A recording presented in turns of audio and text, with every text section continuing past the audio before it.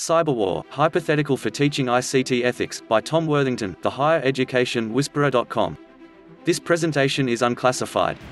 All scenario data is notional, and for exercise only. Briefing by Cyberspace Operations Wing, at Headquarters Joint Operations Command, 1230 Zulu 1 April 2017. At 220 Zulu, 1 April 2017, one of our maritime surveillance aircraft was reported missing. The aircraft was conducting a freedom of navigation flyover on one of the reefs, subject to claim by several nations. The last recorded radio transcripts are Unidentified military aircraft, you are entering a restricted zone. Turn now to avoid unfortunate consequences. We are over international waters, in accordance with accepted law. Unidentified military aircraft, turn back now. This is your last warning. Mayday, Mayday, Mayday, this is Surveillance 105 Charlie Delta, 100 kilometers southeast of.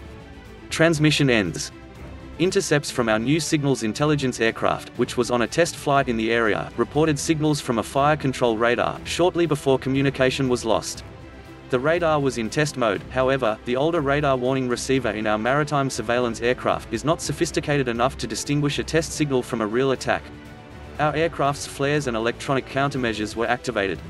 This may have been mistaken for the launch of a cruise missile, which our aircraft can carry, but was not. A surface-to-air missile was launched and our aircraft appears to have crashed while maneuvering to avoid the missile. The crew have been rescued by a civilian vessel, but have not yet been debriefed. The media are reporting that one of our unarmed aircraft has been shot down and the government has asked for military options to respond. The best kinetic solution is a precision air attack on the missile batteries, guided by special forces landed from a submarine, which is already on station.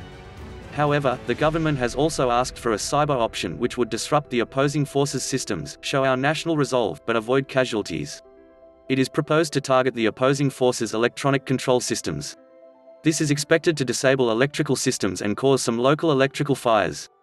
Our intelligence assets in the area will arrange for video of the damage to be posted to social media, for maximum news value. We will be working with civilian government personnel with special expertise, to prepare a human factor attack on their Internet of Things. Discussion.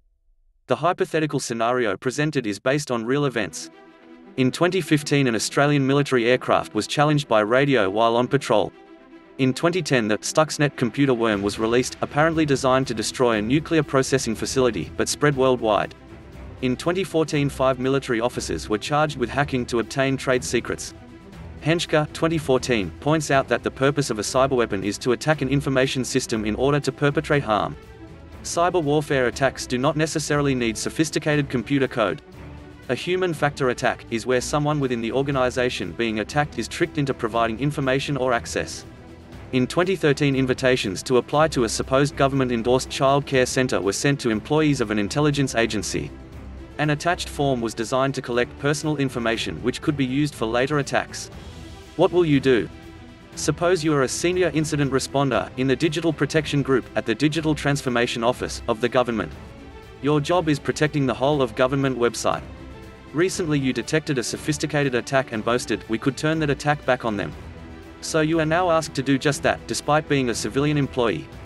You are reasonably sure you can mount a cyber attack which will have the desired political effect, it will disrupt systems of the opposing force enough to cause public embarrassment to their government, with minimum risk of casualties. But can you be sure its effects will be confined to government systems, or to that country? What if the attack shuts down hospitals in their country, or across the world? Is it ethical to be involved in planning such an attack? Would your answer be different if you are a civilian contractor rather than a government employee, or if you were a military officer? Note that the hypothetical scenario does not say what country is planning the attack, or who they are attacking. Does it make a difference to your answer who is attacking who? Note that you are not asked to become an expert on the Geneva Conventions, or the laws of war. However, as a professional, you need to be aware of the ethical implications of what you choose to do, or not do, in your work. For bibliography and notes, search for Cyberwar Hypothetical for Teaching ICT Ethics at Tom Worthington's highereducationwhisperer.com.